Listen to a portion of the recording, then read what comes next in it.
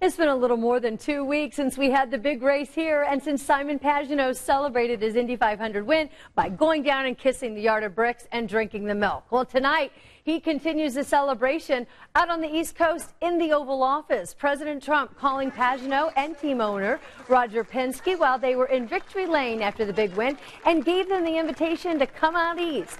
Pagenaud is the first Indy 500 winner to be invited to the White House since 2006, and he liked it. He even tweeted these pictures where he was posing with his fiancee in the famous Oval Office, and he was with Penske snapping the photo. He also shared this shot of his car saying, parked it at the White House. Now that is a really cool picture there. I Having that winning it. car there at the White House. I love it. Very and that's nice. great national oh, exposure yeah, for everything great that for happens here. This is May. Yeah, you bet. what a great day. All right.